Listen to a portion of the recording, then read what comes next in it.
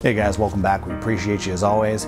This sermon is called From Thorns to Crowns. And in this sermon, we're going to unpack this statement. And that is, the world gives us thorns, but the Lord turns them into crowns. And we're going to take a look at that picture in the Bible. But really, I spent a lot of time in this sermon talking about glorification. So remember, salvation, free gift, everybody knows that, has three phases justification, sanctification, and glorification. And when you understand these from the Bible, it's really going to help you to understand a lot of other things and hopefully, definitely be a blessing to you. God bless. All right, amen. 1 Corinthians chapter number 9. So, the other day, I got invited to Burger King, and the guy that invited me kept trying to get me to take one of the crowns. He's really adamant about that. Really wanted me to take one of those and wear it the rest of the day, which I was about to do. And he's like, "No, nah, you're gonna look dumb." but that got me thinking of a sermon to preach, which I titled "From Thorns to Crowns." From thorns to crowns. And basically, what we're gonna do this morning is we're gonna take a look at, um, really more specifically, we're gonna look at a doctrine it's called the doctrine of glorification. So I've mentioned this before. Salvation has what we'll call three phases. Okay? You've got your justification, you've got your sanctification, and then you have glorification. And in that glorification phase is what we're going to call it. That's where you get a lot more, um, what do you want to say, false doctrines, falsehoods, things like that, because there's a lot of it that's vague. It's guaranteed right? It's promised to us, but there's a lot of vagueness to it. So I want to make sure that we are just all on the same page on what the Bible says about glorification, what the Bible says about crowns. Now I get it. A few months ago when we were in 1 Corinthians, we talked about the rewards, the judgment seat of Christ and things like that. We're going to review a little bit of that, but we're going to focus more so on the crown aspect and basically what happens when we get glorified. What does that look like? Do we really know? What are some of the falsehoods and things of that nature. So you're in 1 Corinthians chapter number 9. Look down at verse 25. Paul says, And every man that striveth for the mastery is temperate in all things.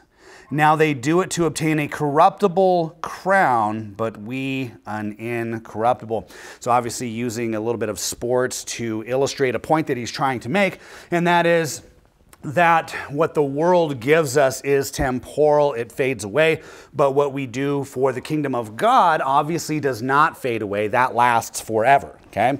Now, keep your place there. We're going to come back uh, probably towards the end of the service, but go to Matthew chapter number six. Matthew chapter number six. This also, of course, got me thinking back to my Sunday school days where um, people would teach about rewards and say, well, you know, you guys are going to get crowns and there's a crown of this. There was always like 18, 20 different types of crowns that you could get. Okay. And, you know, as I'm studying this out in the Bible, I'm like, you'd be lucky if you could really nail down like one. you know I mean? You're going to see that here in a little bit.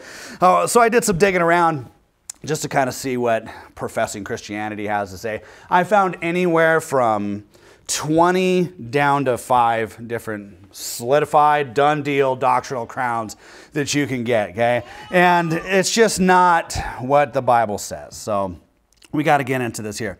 So, quick review, okay? The Bible talks about in the uh, afterlife, in eternity, that we're going to get treasures, rewards, crowns. Okay, you're going to find those three things typically mentioned, um, stored up for us. And just a, a quick review here Matthew 6, look down at verse number 19. Look at what Jesus says here. It says, Lay not up for yourselves treasures upon earth where moth and rust doth corrupt and where thieves break through to steal. Okay, so if you think about that, meditate on that, what is that saying? What that's, what that's saying is that the things that we do for the kingdom of God, okay, they don't corrupt. They don't fade away. They don't get rusty. They don't uh, decay. And I think the, the biggest one of all is that nobody can take that from you. Okay, it's just like your salvation. Nobody can take you out of the hand of Christ. No one can take the things that you have built, that you have stored up for yourself in heaven. Okay, a thief cannot break through and steal those things. Verse 20, but lay up for yourselves treasures in heaven where neither moth nor rust doth corrupt and where thieves do not break through nor steal. Okay, now go to Second Thessalonians. No, I'm sorry, hold on, hold on for a second. Go to, um, go to Romans chapter 4. Romans chapter number 4. Then we'll go to Second Thessalonians. Go to Romans chapter number 4. So obviously, you know, we talk about this quite a bit about storing up for yourselves treasures in heaven.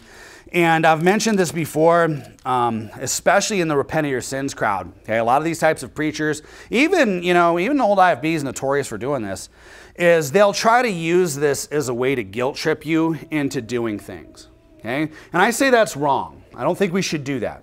And there's several reasons why I don't think we should do that. And one of them because that's not what the Bible says. That shouldn't be your, your main driving force, okay? Well, I, am just doing these things so I can get these rubies and I can get this gold and I can get these, these crowns. And, you know, we've built this picture of what they're going to look like in our minds. And, and that's it, right? We should do these things because we love God, right? That we're appreciative of what He did on the cross for us, okay? That should be the driving factor. That should be the motivation for why we do these things. Romans chapter 4, look at verse number 20. 25. And what we're going to learn here, I'm just going to kind of rattle the first two of these off. Okay, I mentioned three things at the beginning of the service.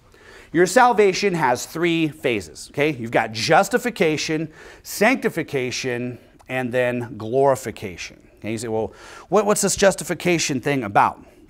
Real quickly, if you're looking for a verse, verse 25, it says, Who was delivered, obviously, Paul talking about Christ, who was delivered for our offenses and was raised again for our justification. Okay?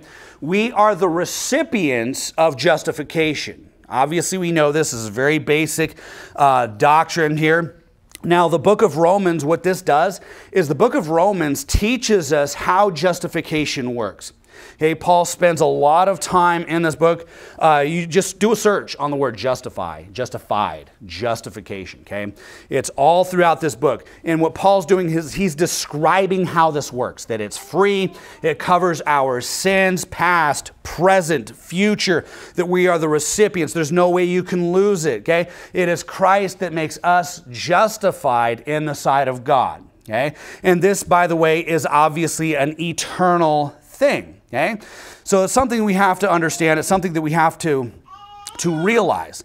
Because what's the, the main thing being taught out in the world today? Well, you can be justified if you do your works, otherwise you're not justified before God, and you just get into a bunch of heresy. Now go to Second Thessalonians chapter number 2. Second Thessalonians chapter number 2. In, in regards to justification, when you get to Galatians, Paul spends a lot of time defending justification. So, if you want to study that doctrine by itself, you'd want to focus on reading Romans for the teaching of it, okay, which is just salvation. It's something we're all in here very familiar with. I don't want to pound that down too much today. But then Galatians is all about defending that, okay, and taking a look at the Judaizers and the, the, the works people that come in and try to take that away from us, okay, and put that justification on the shoulders of man for what? For pride reasons, okay? And so we obviously don't want that. But everybody who's saved is justified because of what Christ did, not because of what we did. Okay, so justification, first phase of salvation. Now, the second one can be broken down into two senses, and that's called sanctification. Okay, now, in one sense, we have a permanent sense. So you're in Second Thessalonians chapter 2. Look at verse number 13. So after justification, the moment a person believes, saved, born again, placed into the hand of God, you're in the body of Christ, okay? Look at verse 13. But we are bound to give thanks always to God for you, brethren, beloved of the Lord, because God hath from the beginning chosen you to salvation. Now look at this through sanctification of the Spirit and belief of the truth. So the moment a person hears the Word of God, believes, okay, they get saved, they're born again. They're obviously justified because of what Christ did, but there's an automatic sanctification that takes place. Sanctification means to set apart, okay? And so what Paul's reminding the Thessalonians of here is that, hey, the moment you guys heard the word of truth and you believed, the Holy Spirit came into you. Okay, there was a quickening, there was a new birth, and that automatically separates you from the rest of the world. It separates your new man from your old man. So you have this, this two nature thing going on right now. Okay, so that part is obviously eternal, just like justification. That part is obviously um, automatic and, and it can't go nowhere. Okay, now go back one book to 1 Thessalonians chapter number 4, and I want to show you this in the temporal sense, okay? And this is where I'm going to draw the concept of thorns from. Remember the title of the sermon, From Thorns to Crowns. From Thorns to Crowns. It'll make more sense when we get um, further on down the road. But I want to show you that sanctification, the doctrine of us living a godly life, is temporal. Okay? Why? You say, well, why is it temporal? Because it's hard. It's difficult. It's not automatic. Okay? But when we get to glorification, you're going to see because all things have become new, it's automatic. Okay, it's automatic. But right now it's not automatic, right? We have to fight with ourselves, don't we? Just like we just read in 1 Corinthians chapter 9. This thing is a race. It's, uh, it's a, a, a race that requires endurance and hardship. Okay, look at verse number 1, 1 Thessalonians chapter 4. So Paul says, Furthermore, then we beseech you, brethren, and exhort you by the Lord Jesus, that ye, I'm sorry, that as ye have received of us, now look at this, how ye ought to walk and to please God so you would abound more and more. So this is just a, a, general principle in the Bible. Okay, the more godly you decide, you know what, I'm going to be, I'm going to walk with the Lord, I'm going to be obedient, okay, the more you'll abound. And abound in what? What does abound mean? It means to move forward. It means to make progress, real progressiveness, okay? The real progressiveness that should be taught out in the world, that's what he's talking about there. That's what's profitable. Okay, that is what is profitable. That is what rings throughout eternity and nobody can take away. Okay? But understand when you read that verse, this, this is not automatic, is it? Okay? We have to work at this. That's why he's having to write this. Okay? So what are we talking about? We're talking about sanctification. Okay? Look at verse 2. For ye know what commandments we gave you by the Lord Jesus, verse 3, for this is the will of God, even your sanctification, that ye should abstain from fornication. So, what is he talking about here? Well, he's saying, hey, you know, for your sanctification, because you're set apart by God and you're, you're saved, you're justified, you're free, okay? You ought to know how to possess your vessel. You ought to know how to walk through this life. And you're going to have to fight the flesh, okay? Because you're not glorified yet. So he says, For this is the will of God, even your sanctification, that you should abstain from fornication. That's what the commandments are for. That's what the wisdom and all the principles in the Bible are for, for our sanctification, so that we're not living our lives like the world does. Hey, make sense? Verse 4 that every one of you should know how to possess his vessel in sanctification and honor not in the lust of concupiscence, even as the Gentiles which know not God. And of course, that's in reference to uh, physical relationships outside of marriage, fornication, things of that nature. Okay, so what I want you guys to understand, okay, justification, it's free, it's automatic, it's, uh, it's, it's eternal. It is forever. It's because of what Christ did. Okay? The moment you get saved, you are justified. This is why we are so adamant against people that teach repent of your sins, because we know that we are justified. It's so clear in Scripture. The next phase is sanctification. Okay? We are saved unto good works. We are saved so that we can now begin to do good works. Why? To stay saved? No, we've already covered that. So that we can abound more and more, so that we can take the kingdom of God, get more people in, and because obviously we love God. Okay? But sanctification has two senses. Obviously, the automatic sense, which is the moment you believe, you're set apart, you're, sealed by the Holy Ghost into the day of redemption. But then you have this temporal part okay, which is the effort between us in conjunction with the Holy Ghost to live a godly life. Think about it. Why does Paul say, hey, don't grieve the Spirit, don't quench the Spirit? Because we can do those things. That's why he says that. So sanctification is literally a thorn. It's hard, it is not easy. Okay? It is a daily battle. It is a constant process of us learning the Word of God, what is true, what is acceptable to God, and actually implementing it in our lives. Okay? That is what sanctification is. And that is that part of sanctification basically is what determines our treasures, our rewards, and crowns, whatever so they may be. Now, Let's move on to number three, which is glorification. Okay? Now, I don't have a word in the Bible that says glorification, but just to kind of give you a picture here, go to John chapter number seven, real quick. John chapter number seven. And we'll just kind of piggyback off of something here. I think, if I can find it, if I can find it, I might not be able to. see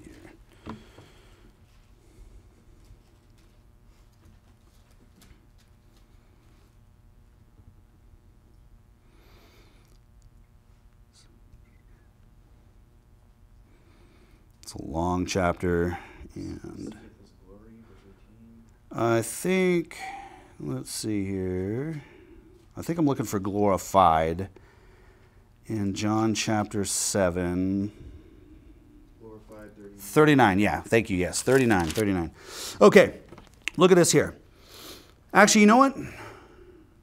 Back up to verse 37. So he says, In the last day, that great day of the feast, Jesus stood and cried, saying, If any man thirst, let him come unto me and drink. He that believeth on me, as the scripture hath said, out of his belly shall flow rivers of living water. Okay? Now, look at verse 39. He says, But this spake he of the Spirit which they that believe on him should receive, for the Holy Ghost was not yet given because that Jesus was not yet glorified. Okay? So you can see that word there, glorified. Now, when did Jesus get glorified? Obviously, you have the death, burial, resurrection. After the resurrection, and he descend, or I'm sorry, he ascended, not descended. I had a Joe Biden, Biden moment there. But after he ascended, what did he say was going to happen? Well, I'm going to send the Holy Ghost down to you. So as he goes up, he sends the Holy Ghost down. Okay, so the glorification process is obviously after death. After the body gives up, we get new life. Okay, now we don't get our bodies, our new glorified bodies, like if you were to die today God forbid, okay? You're not going to get your new body now. It's obviously at the rapture because Paul said that we'll be changed in a moment, changed in the twinkling of an eye. See, how fast is a twinkling of an eye? I don't know. Go ask an ophthalmologist or something. Maybe it's like a tenth of a second.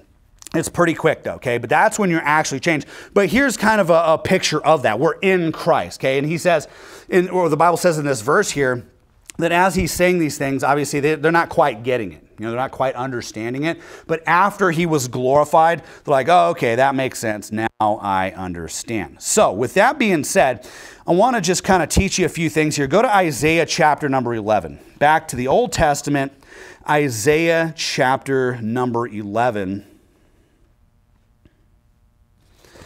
And we're going to look at a couple of things here, okay? So, the reason why I want you to understand this, is, really, there's several reasons. Because it's Bible doctrine, and that would be number one. Number two is probably because of the state that Christianity is in today. I mean, you have these Pentecostals, and you know, let me just say this, okay? If a, there are very few even professing Christian churches, they're even against Pentecostal churches. Okay? And what's their, what's their predominant message? Well, that you can do healings today, that you can have your best life now, that you can have this now, you can have life and have it more abundantly. They don't even understand what Jesus said when he said that. Okay, but it's all about the here and now, that everything can be perfect for you here and now. And what we say is because we understand justification, because we understand sanctification, okay, in both senses. And we're going to understand glorification, okay, that keeps our doctrinal position straight as we float through the Bible. We understand that we have not yet been glorified, okay? So what does that mean? We have not been completely perfected. Okay, now let me just show you a picture of what that time will look like when we are perfected. Okay, so Isaiah chapter number 11, this is talking about the millennial period. And, you know, on your own time, read the whole chapter. It's a very, uh, obviously, interesting, very quick read, very simple. But we're going to start in verse 6. Now, look at this here. The wolf also shall dwell with the lamb, and the leopard shall lie down with the kid, and the calf and the young lion, and the fatling together, and a little child shall lead them. Okay?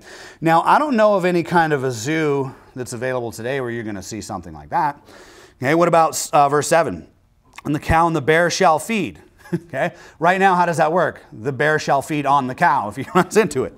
Okay, their young ones shall lie down together. The lion shall eat straw like the ox. Okay, do lions eat straw today? No. Okay, this will make sense here when we get to Romans. Okay, but look at verse 8.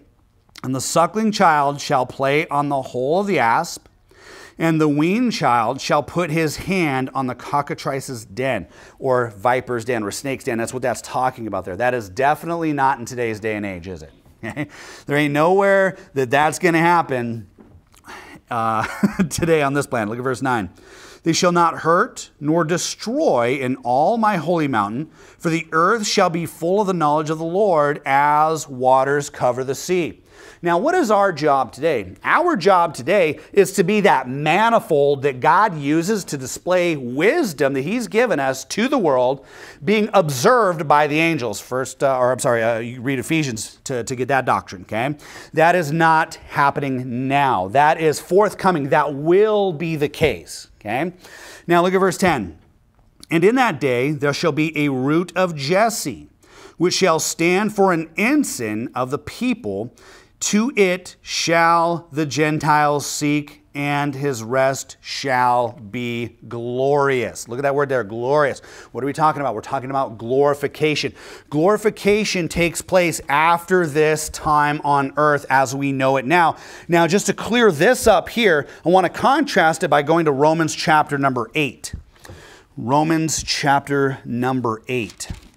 And you know, one of the, I don't know if you guys have ever had this, but one of the things that Pentecostals have come at me with is saying, well, you're denying the atonement because you're saying that people can't be healed. You're saying that God can't stop the mouths of beasts, and you're saying all this stuff. And that's what they like to throw at me, okay?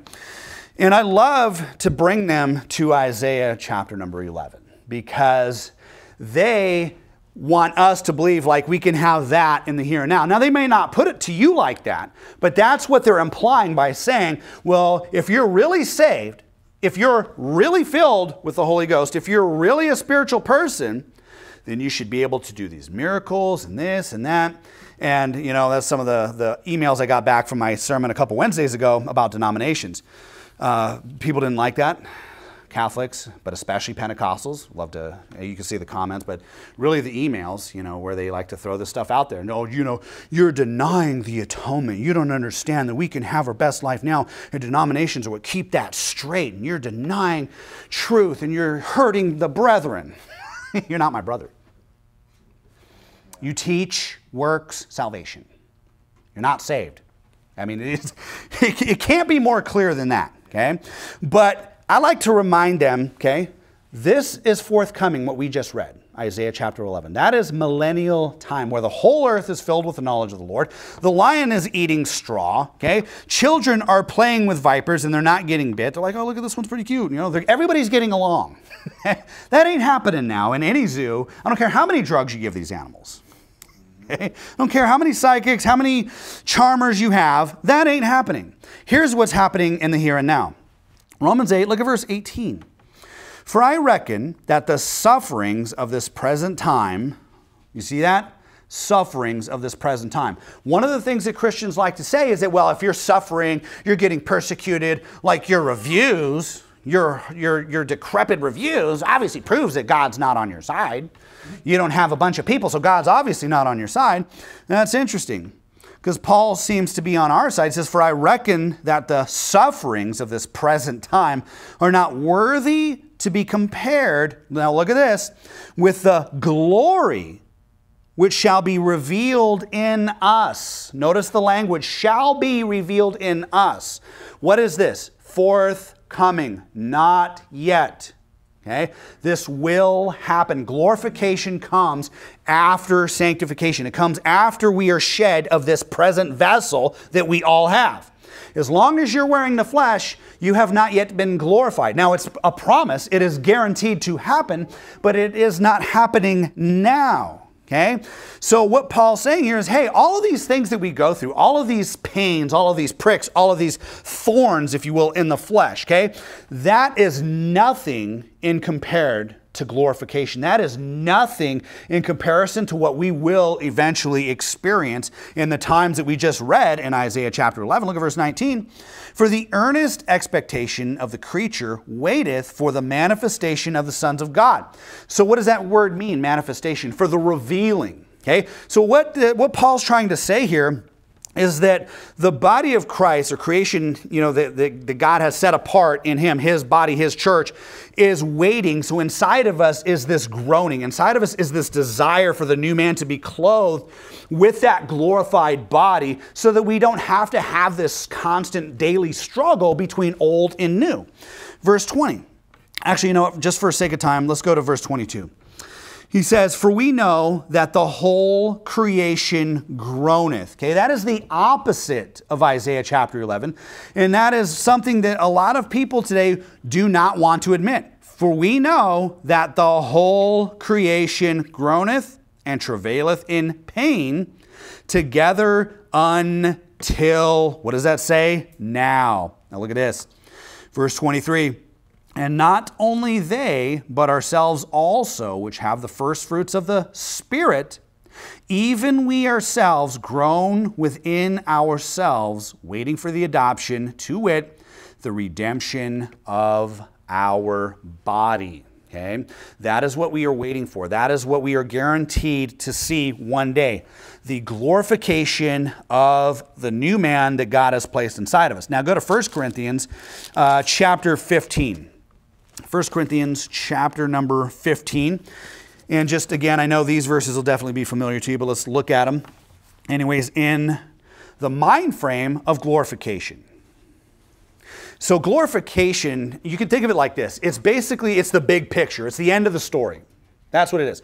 Big picture, end of the story. It's when it, this is all said and done. Old man is out of the way. New man is clothed with that body that Christ has given us freely. Okay, look at this here. Uh, 1 Corinthians 15, go all the way over to verse 42. Verse 42. So the Bible says this so also is the resurrection of the dead. Now look at this. It is sown in corruption, it is raised in incorruption. Okay? And that's why I titled this, well, one of the reasons why I titled this sermon, From Thorns to Crowns, because that's what God does. He takes the things of the world, this corruption, okay, and makes it incorruptible. The world gives us thorns, but the Lord gives us crowns, and I'll demonstrate that to you here in a bit. Okay? But look at verse 43. It is sown in dishonor. What does that mean? Well, that means that when we are born, okay, we're not born with a new man like the Mormons teach, okay? We weren't spirit babies up in heaven before we were born of the womb. And that's, that's, that is what they teach. And I've had them tell me that on multiple occasions. Okay? It is sown in dishonor. It is raised in what? Glory. See that word there again glory, glorification. It is sown in weakness. It is raised in power not because of you and I, but because of what He has enabled for us. Verse 44 It is sown a natural body, it is raised a spiritual body. There is a natural body and there is a spiritual body. And of course, you study uh, the, the life of Christ, John chapter 7 especially, through the end of the book, and you get to see that, don't you? You get to see there is a difference. God pens down the differences um, pre resurrection and post resurrection uh, uh, of Christ, and we get to see a glimpse of that for us. Okay, a spiritual body. There is a natural body. There. Uh, um, so let me let me read that again. Go back to verse 44. So it is sown a natural body. It is raised a spiritual body. Okay? There is a natural body and there is a spiritual body. Verse 45. And so it is written the first man, Adam, was made a living soul, the last Adam was made a quickening spirit. Okay? So, what does that mean? Well, that means obviously that Adam brought sin into the world. The first man did that. That passed on to all of us. And Christ had to come to solve that equation. How did he do it? Well, he was born of a virgin, lived a perfect life, never sinned, never made any mistakes, never did anything wrong. Okay? What happened? Well, they put him to death. Okay? And his body, okay, his body, he rose from the dead. He walked out of that tomb, okay, glorified, all of that stuff. And because of that sacrifice and because he was able to defeat death, we are grafted in him. We are placed in him. And so we will experience a glorification because of that. Okay, verse 45. And so it is written, the first man, Adam, was made a living soul. The last Adam was made a quickening spirit. Okay, what does quickening mean? It means to make alive. It is Jesus that makes us alive. It is his word that makes us alive again, that causes us to be born again.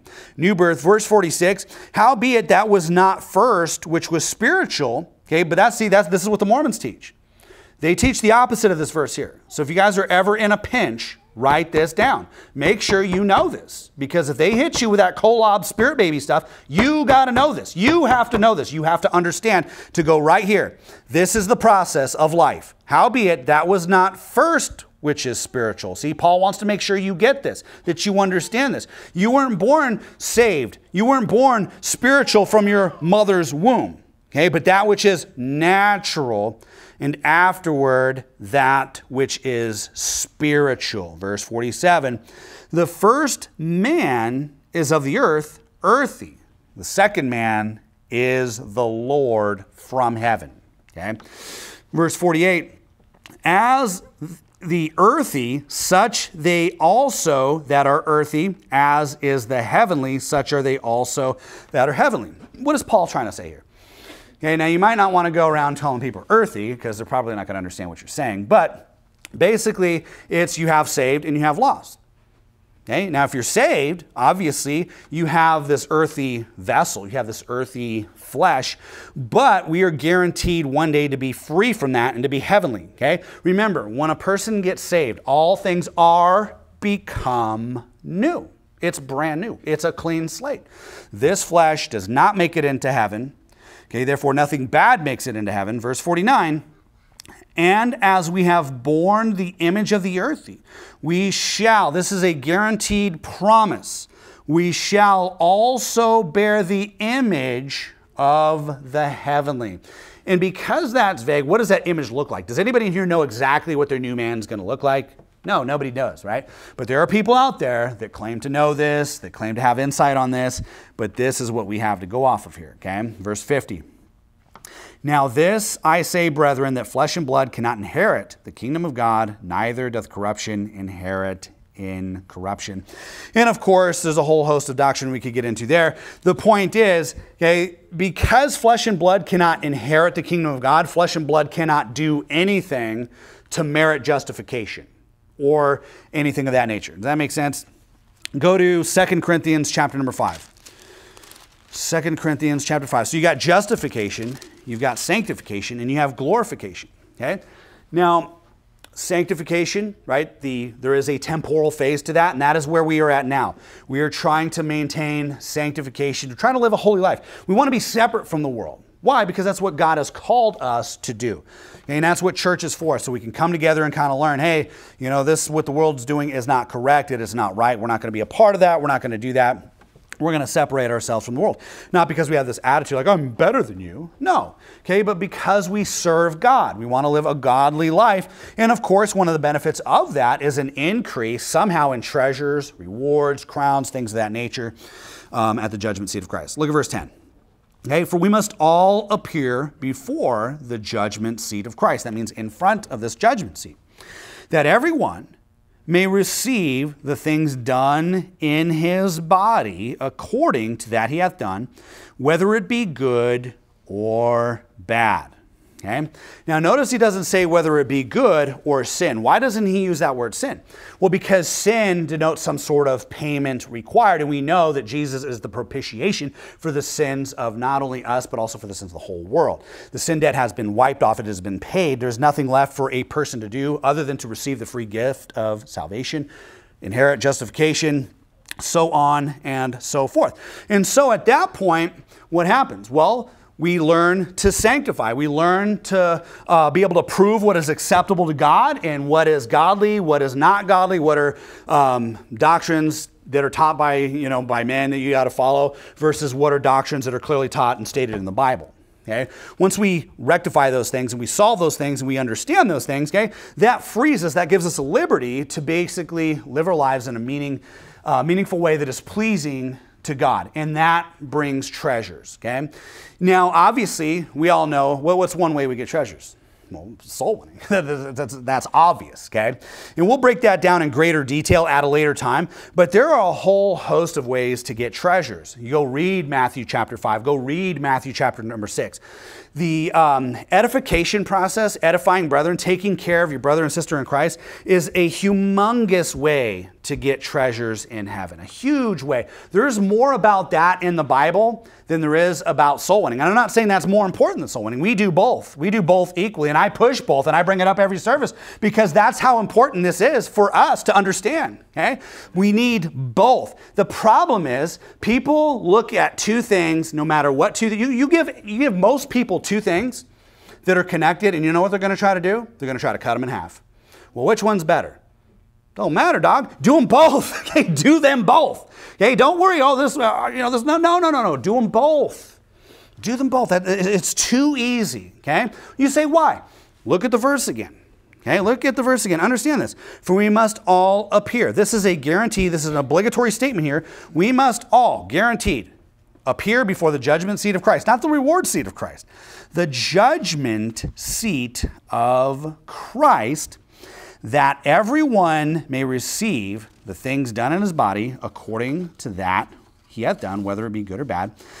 Look at verse 11. Knowing therefore the terror of the Lord, we persuade men, but we are made manifest unto God and I trust also are made manifest in your consciences, okay? And we've taken a look at the judgment seat of Christ. We understand what happens there. We don't know exactly what it's going to look like, but basically, our works, the things that we've done in our bodies here on this earth, are going to somehow be put into fire.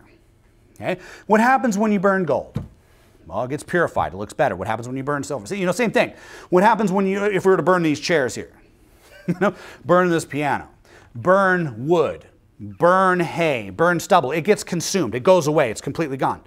Okay, those things don't make it into heaven. So that's why I'm telling you, in heaven, there's nothing bad. You're not going to be there like, oh man, you know, just eternal sorrow. No, that doesn't exist because anything done bad in our bodies just gets burnt at this judgment seat and doesn't pass on into glorification. Why is that? Because it is God that has enabled us to be glorified. It's because of His sacrifice and what He did on the cross. Our works, obviously, in the body do, however, uh, mass up treasures for us, but you know, at the end of the day, we don't really know what those exactly look like. Okay, remember, we're doing these things because we love God, because He saved us. It's our reasonable duty. Go to Romans chapter 12 and, and read that on your own time. But I think you guys get the point, okay? So let's move on now. Go to John chapter number 19. John chapter number 19. And we're going to look at how I got the title of the sermon today John chapter number 19. So, the reason why I'm spending more time on glorification is because in the Bible, you can see the word justification. It's in there, it's clear. You can see the word sanctification, so it's pretty easy, okay? But when it comes to glorification, it's there, but a lot of it is vague and we're not told specifics, okay? And you'll see why at the very end of the service, why that's the case. So, John chapter number 19, I want you to look at this here. Look at verse number 1. Then Pilate therefore took Jesus and scourged him, verse 2, and the soldiers platted a crown of thorns and put it on his head and they put on him a purple robe okay? So they take these these these thorns basically and they braid them together and they put them on his head. Obviously a very painful thing. Obviously they were doing that to mock him you know? Look at verse 3 and it tells you and he said or i'm sorry it said hail king of the jews and they smote him with their hands okay? So what do we have here? We have thorns which picture pain torment judgment things of that nature okay? And that's kind of the the sanctification process. That's kind of all who shall live godly in Christ Jesus shall suffer persecution, okay?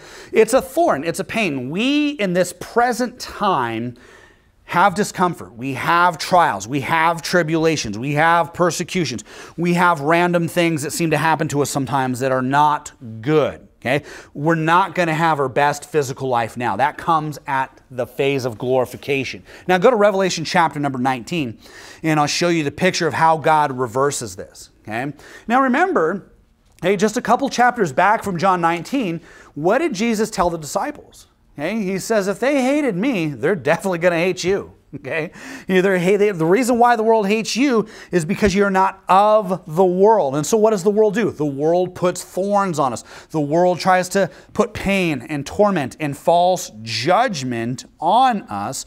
Now, what does Christ do about this and how does this speak to glorification, sanctification, and that sort of thing? Well, look. Revelation 19, look at verse 11. So John says, And I saw heaven opened, and behold, a white horse, and he that sat upon him was called faithful and true. And in righteousness, look at this, doth he judge and make war. Isn't that kind of the situation that we find ourselves in? Do we not find ourselves more often than not just in our lives having to make judgments, whether that be out soul winning, judging a person's salvation, judging what they say is true or false, or family members or people in the community, or what, what, what have you. Okay? And what does that often lead to? That often leads to making war. Okay? It often leads to us having some sort of a war with someone or some group of people. Okay?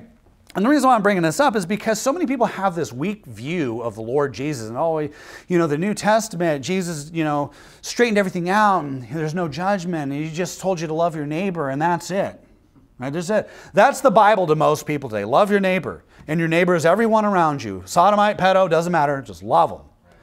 Completely false, completely negligent to say that. Okay?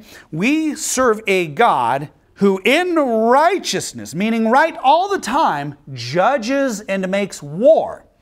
Okay? And so it's interesting what he did to that crown of thorns and that purple robe that they gave him. Look at verse 12. His eyes were as a flame of fire, and on his head, now look at this, were many crowns, and he had a name written that no man knew but he himself. Kind of interesting. Thorns, plural in John 19. Revelation 19, you have crowns, plural, many. And he had a name written that no man knew but he himself. Verse 13. And he was clothed with a vesture. Okay, remember that purple robe? Now look at it. A vesture dipped in blood. Now, I'm not saying this is the same thing, but I think these things are written this way to teach us something. Okay? This vesture dipped in blood, and his name is called the Word of God. So the world put a thorn, a crown, I mean, I'm sorry, a crown of thorns on him, and he comes back with many real crowns on his head. They put a purple robe on him, mocking him. And when he comes back in his glorified state, what do we see? We see him with a vesture, a clothing article, garment dipped in blood. Okay? And that's why I'm saying the world gives us thorns, but the Lord turns them into crowns. Now go to 1 Corinthians chapter 9 where we first started. Okay? This is basically teaching us here that the life that we live now, okay, the sanctification process does somehow make glorification even better than baseline, than base model. Okay? Why? Well, because we know that we can store for ourselves treasures. So when the world's throwing thorns and darts and things of this nature at us, we realize, you know what? Those things cannot even be compared to what Christ has in store for us. He takes those things and turns them into royalty. Okay? And so there's this call all throughout Scripture, especially, you know, throughout the epistles, that we are called to endure life. We're called to endure sound doctrine. Okay? Sometimes sound doctrine can step on your toes and it can hurt you. Okay? What are you going to do? You're going to quit? You're going to get out of the race? You're going to tap out? You're going to fall out? Okay? That is unprofitable. Okay? And one of the things that I think we could definitely benefit from is understanding that all of those things, and that's just something simple. Okay? What about the attacks from your mom, the attacks from your dad, your brothers, your sisters, your uncles, your aunts, your neighbors, your friends? You know, these attacks that come at you, this pull that they have on you, come here, you know, trying to take you away from just serving God. Okay? When we can resist that, just know that someday that pain, that thorn, is going to be turned into a crown somehow, some way, shape, or form. 1 Corinthians chapter uh, number 9, look at verse 24. So Paul says, Know ye not that they which run a race run all. This is a race. Sanctification leading up to glorification is a race, okay? It requires effort. It requires your participation with the Holy Ghost to say, you know what?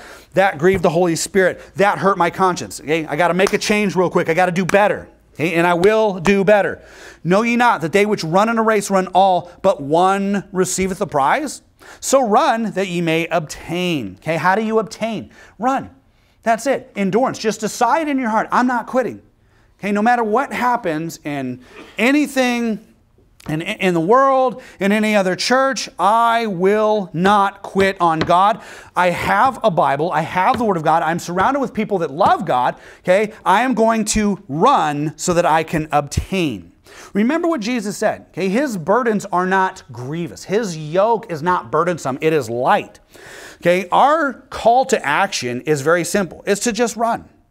Okay, verse 25. And every man that striveth for the mastery is temperate in all things. Now they do it to obtain a corruptible crown, but we an incorruptible crown. Okay, very simple. The things that we do by running this race cannot ever corrupt. Verse 26 I therefore so run. not as uncertainly, so fight I, not as one that beateth the air. So he's like, I'm not doing this like a shadow boxer, you know, I'm not, not playing that game here. He says, but I keep under my body and bring it into subjection. What does that mean? Sanctification. He's saying, My body wants to go this direction, but I have to fight it and suppress it. Now, did Paul make mistakes in his life after salvation? Obviously, yes. Of course, of course, he had the old man. And he brings that up in Romans chapter 7. In several places throughout Scripture, the Holy Spirit inserts things where you're like, ah, that was pretty messed up what you did to old Timothy there, and you didn't do that to Titus. You know, there's a lot of things that we could go look at, okay? Paul made mistakes, we make mistakes, okay? But all God wants us to do is, hey, run the race. Don't quit. All you have to do is to just don't ring that bell, don't quit. But I keep under my body and bring it into subjection, lest that by any means when I have preached to others, I myself should be a castaway. Now, we're going to run through, through, some things and we'll be done. We're getting close to, to wrapping this up here. Um, go to 2 Timothy chapter 3 real quick. 2 Timothy chapter number 3. So, why are you bringing this up? Well, again, because I do believe that there are rewards for not quitting on the Lord, for not throwing this out, okay? There's going to be rewards for your endurance, just for, for, for finishing the race. I think that's what Paul's message is to us. Now, of course, where it gets complicated is because we don't know exactly what it looks like. And if you're like me, you want to know what this looks like. I want to know exactly, like, what, what kind of treasures? Like, you know, do I have a treasure chest? Is it my body? You know, and that's what Pastor Meadows teaches. You know, he thinks that the mansions that uh, Jesus mentioned are the body. I think that's, I, I think I, I agree with that. I haven't heard anything that's, you know, concrete against that. But no matter what your belief is, it's a good thing. Okay, whether you believe it's an actual, you know, brick and mortar mansion or made with, you know, stucco, I, I don't know. Okay, it's still a good thing. Okay, it's still a good thing, and it's not worth fighting over. Definitely worth discussing, but definitely not worth fighting over. Okay, so the point is, don't quit. You, there's obviously a treasure or a crown you could possibly say for your faithfulness or your endurance. Now, 2 Timothy 3, look at verse 12, real quick. Says, Yea, and all that will live godly in Christ Jesus shall suffer persecution. This is that thorn process that I talked about. And there are people that are not here today because of this. There are people that no longer come to this church, churches like ours, because of persecution from inside the family. Um, persecution from protesters and things of that nature. It's a real thing, okay? The devil wants you to quit. Your flesh wants you to quit. So it's a two on one battle. But greater is he that is in you than he that is in the world. And I think that's what people fail to realize and fail to remember. Now, what I want to do now is I just want to kind of spend a few moments talking about crowns. We're just going to run through some verses here on crowns just so that you guys have a good picture of the playground regarding crowns. Okay, because like I said, there's people out there teaching some crazy stuff. There's 18 crowns mentioned between Revelation 2 and 3. No, no, no, there's only six crowns mentioned in the entire New Testament. No, there's only five crowns. Please do me a favor when you guys get home. If you have a Bible software or you can use my phone, whatever you want to do, just go type in the word crown and just New Testament 24 times and look at all the references. Okay, out of 24 times, you're not going to find 24 crowns.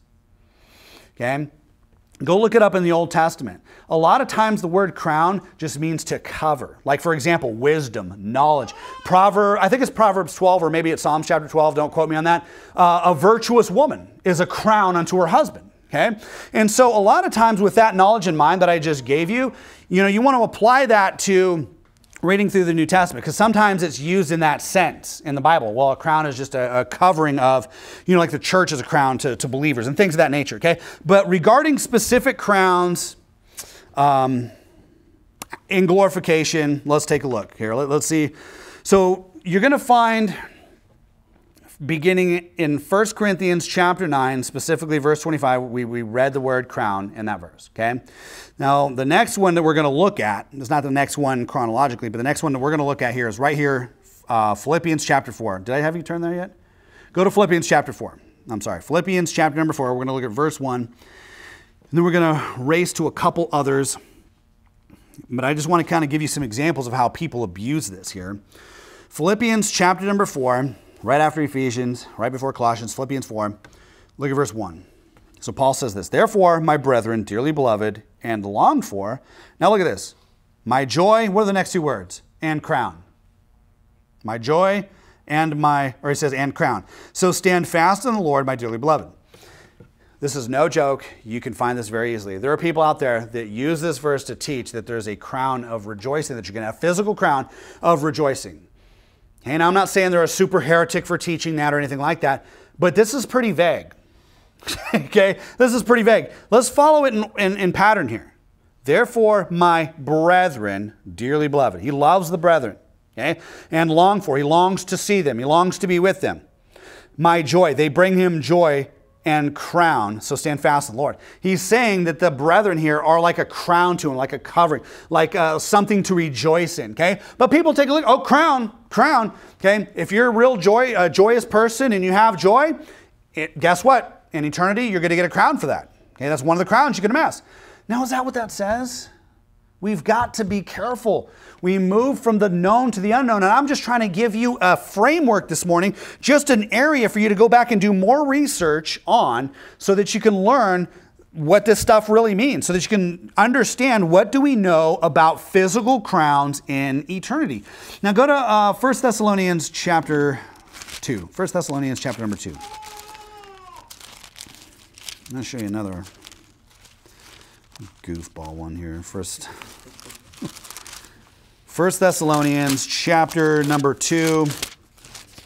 Look down at verse number. Uh, let's look at verse number 19. Okay, for what is our hope, our joy, our crown? Okay, same language. Okay, you see that same language that Paul used already in, in uh, Philippians 4. For what is our hope, our joy, or crown of rejoicing? See, and they'll say, hey, see, if you're a rejoiceful soul, if you're good at rejoicing and giving thanks, then in, at the judgment seat of Christ, you're going to get a physical crown for that. It's going to have these green and red rubies on there. And guess what? You're going to love it. You're going to get to keep that. Come on, man. That might sound cute in Sunday school, but it's wrong. You did not get that from here. What is he saying? For what is our hope, or joy, or crown of rejoicing are not even ye in the presence of our Lord Jesus Christ at his coming? For ye Okay, ye Thessalonians, ye believers, ye, this group of people are our glory and joy. So again, he's using the fact that the brethren are a crown, something to rejoice in. Like, I don't know if you're like me, I, I like coming to church. I like seeing people that are sane, people that are saved, that have the same beliefs that I do. It's a crown of rejoicing on Wednesday, on Sunday, on Saturday, okay? It's a good thing. It's a great, wonderful thing, okay? Nowhere am I seeing anything about this being a physical, hands on crown that you're going to get at the judgment seat of Christ. Now, let's go to 2 Timothy chapter 4 real quick. Like I said, we're just going to run through these here. 2 Timothy chapter 4. Like I said, the, the thing I want you to do is to do a study on this. Just go look at all the times the word crown is used in the Bible and tell me how many you can come up with that are solid, put your hands on, right at the judgment seat of Christ. You're going to be handed this crown and it looks like this. Just, just let me know.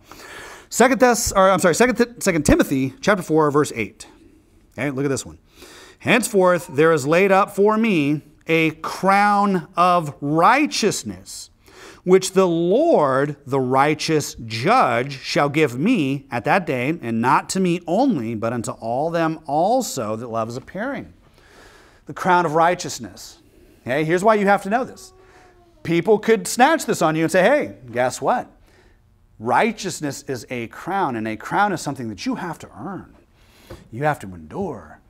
So why do you say that righteousness is just given unto you? You know, and they're going to play this game with you, okay? Now, is that what that says? It's pretty obvious if you read the whole chapter, which we don't have time for. Henceforth, there is laid up for me. Paul's saying this as a guarantee. Paul was there when Stephen the deacon was martyred. Okay? I don't remember him kneeling on a bed of rice. Obviously, he was sorry. Obviously, he was sorrowful for that. Okay?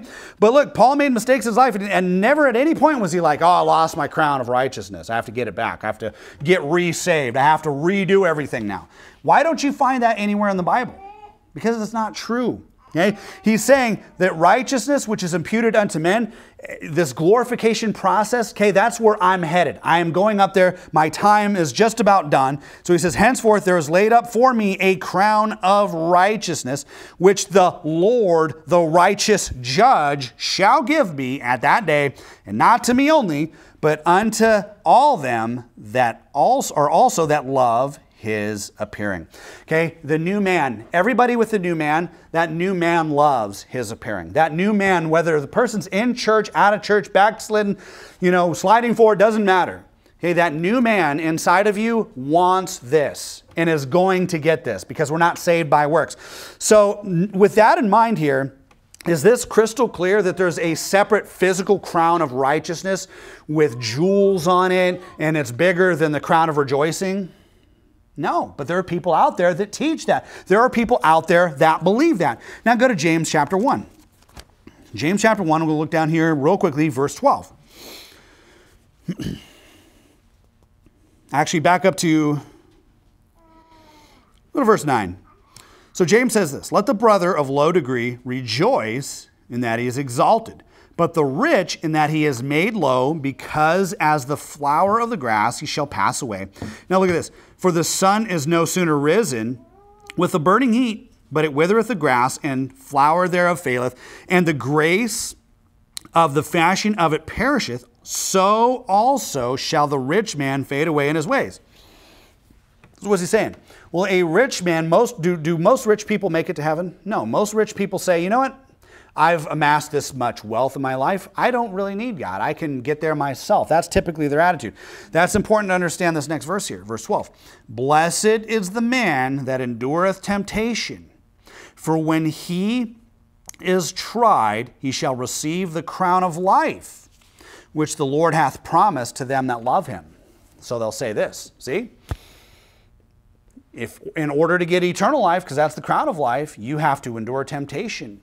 And if you don't endure, you backslide, you fall off, you lost that crown, you lost your eternal life. Of course, we know that not to be true. We understand what James is doing here. Okay, he's talking about being respecters of persons, and he's basically saying, you know, understand, guys. Not only do rich men oppress you, but they fade away in their ways, and their ways are not the way that Paul preached, the way that you and I believe, the way of salvation through Christ alone. And so, what he's saying here is there's a temptation that is in the world today to every single person that is living and breathing, and this temptation is to take you away from believing in the gospel. It is to take you away from believing on Christ for eternal life, which is a covering, which is a crown. And so he says in verse 12, Blessed is the man that endureth temptation. He's talking about that temptation, for when he is tried, he shall receive the crown of life, which the Lord hath promised to them that love him. But again, if you want to apply that to the judgment seat of Christ, a separate physical crown, I mean, that's your deal. You can believe that, but it's just not clear, is it? It's just not crystal clear. What color ruby's on? How tall is it? How many points does it have on it? Is it completely circular? I mean, come on. Okay, you don't know. It's vague. The point is, if we re resist that temptation, obviously we're guaranteed everlasting life. Now go to 1 Peter chapter 5. We're, we only got a couple more. 1 Peter chapter 5. We're going to look at verse 4 real quick. So Peter here is telling the elders, he's saying, hey, feed the flock. Okay? There is profitability in feeding the flock so that everybody can be of a ready mind. And he tells them in verse 3, hey, be an example to the believers. Okay, don't lord over God's heritage. So we don't, you know, and that's, that's why I'm like, I'm not going to get involved in your personal life, tell you do this, do that. Okay, buy this deodorant because that's what I buy. I'm not going to do stuff like that. Okay, I'm going to teach you what I think the Bible says, and it's up to you to see what you think. But here it is. Look at this here. Verse 4. And when the chief shepherd, so after giving them that exhortation, he says, And when the chief shepherd shall appear, look at this, ye shall receive a crown of glory that fadeth not away. Now, what about the rich man that James talked about? What happens to his ways? They fade away. Okay? What about our eternal life? Does that ever fade away? No. So, what is this crown of glory here more than likely talking about? The fact that our eternal life is not going to fade away. It is a guarantee. The glorification process, okay, is a guarantee. But people say, well, this is one of the crowns that you get at the judgment seat of Christ, and it looks like this, this, and this, or it may look like this, or they'll even try to be more honest and say, well, we don't know exactly what it looks like, but it's a crown you're going to get at the judgment seat of Christ. It's not clear. Okay, so I don't believe that's what he's saying there. Now you know the, the crown crowd's going to come after me, and oh, you know, you're trying to mess with my crowns here, and I'm not trying to be mean. Okay, go to Revelation chapter 2. You can have all the crowns you want. Just run the race and let it sort itself out. That's probably the best advice with this I can give you. Okay? We only got two more left. Look at verse 10. Revelation 2, uh, look at verse Number 10. Now there it is. I thought I had the NIV for a second. I was like, where is it? Where's verse 10? All right, verse 10. Fear none of those things. So this is obviously the letter the, to the, uh, the church in Smyrna. Okay, verse 10. He says, Fear none of those things which should or which thou shalt suffer. Behold, the devil shall cast some of you into prison that ye may be tried, and ye shall have tribulation ten days. Be thou faithful unto death, and I will give thee a crown of life. Okay, and then he says, He that hath an ear, verse 11, let him hear what the Spirit saith unto the churches, he that overcometh shall not be hurt of the second death. That's important for you to understand. Because what people will say is, well, again, you know, I'm telling you, eternal life is a crown. And if you don't endure, if you don't last, if you're not faithful, if you get scared like Peter did, you're going to lose that crown of life. You're going to lose it. It's right here. It's not what he's saying. Jesus is exhorting them, saying, hey, this is what's going to happen, guys. Okay, the devil's going to put some of you guys in prison. You're to be there 10 days, and you're going to physically die. But don't be scared. Don't be afraid because I will give thee a crown of life. Here's how the modern Christian reads it Be faithful unto death, and then and only then, if you do that, then you'll get eternal life. That's how they want you to read it. But that's not what he's saying. He confirms it in verse 11 He that hath an ear, let him hear what the Spirit saith unto the churches, He that overcometh. How do we overcome? By believing. John 6, very clear. When you believe the gospel, you have overcome that great temptation that the devil has sown throughout the world to not believe on Christ. You have overcome that. He that overcometh, look at this, guarantee, shall not be hurt of the second death. So, what is this crown being referred to here in chapter 10, the crown of life? It is eternal life, which is a free gift. Okay? It's just, an, again, another exhortation for us to not fear tribulation and the thorns that come upon us from the world because God is going to turn them into crowns. It is a guarantee. Now, last one right here Revelation chapter 3. We're going to read 7 to 11. Okay? This is the message to the church in Philadelphia. And I have to bring this one up. I know we've gone a little long this morning because it does talk about a crown being taken away, but I want to explain that. Verse 7.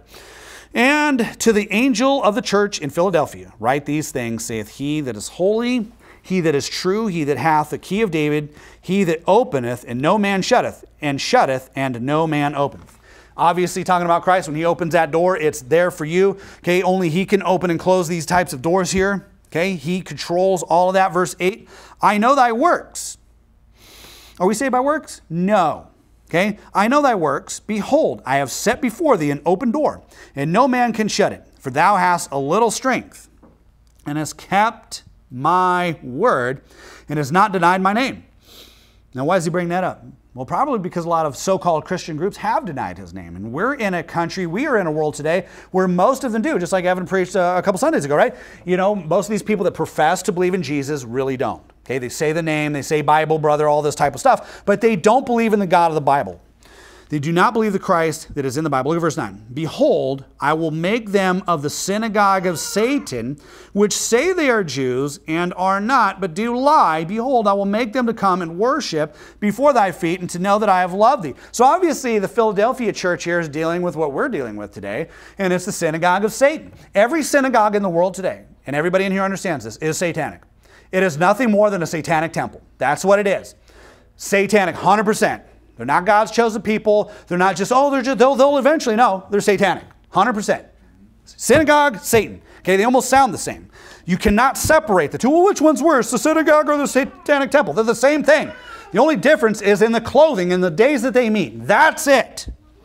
But, anyways, it's a different sermon. Verse 10 Because thou hast kept the word of my patience, I also will keep thee from the hour of temptation which shall come upon all the world to try them that dwell upon the earth. Behold, I come quickly, hold fast which thou hast, that no man take thy crown. Now, they all oh, see, you can lose your rewards. You can lose that crown of rejoicing if you don't rejoice. You can lose the crown of life if you fail away in temptation. You can lose your crown right here. Now, he's talking to who? He's talking to a local church. Church of Philadelphia. That is who he's talking to. Notice he doesn't say that necessarily to all of the other ones. Okay? You say, well, why is that important? What does this mean here? How can they, some man take their crown? Well, back up real quickly to verse 8. I know thy works. Behold, I have set before thee an open door. So God has set before them this opportunity at this time that he's writing this. No man can shut it. and thou hast a little strength. Okay, so they've got a little strength, meaning they probably have a little bit of people in this body of believers that are actually saved. It says, a little strength and has kept my word and has not denied my name. And obviously brings up the Jews because they're trying to destroy this church by sending in infiltrators. That's my opinion. My opinion. That's, that's me putting that in there. I believe that's probably what was going on here. Okay. But he's saying, Thou hast kept my word of patience, and I will also keep thee, verse 10, from the hour of temptation which shall come upon all the world to try them that dwell upon the earth. Behold, I come quickly. Hold that fast which thou hast. So he's basically saying, hold fast that little bit of strength. Okay, you've got a group of people here that believe the word of God, that are true believers, that have not gone astray. And he says in verse uh, at the end of verse 11 there, you know, hold fast which thou hast, that no man take thy crown.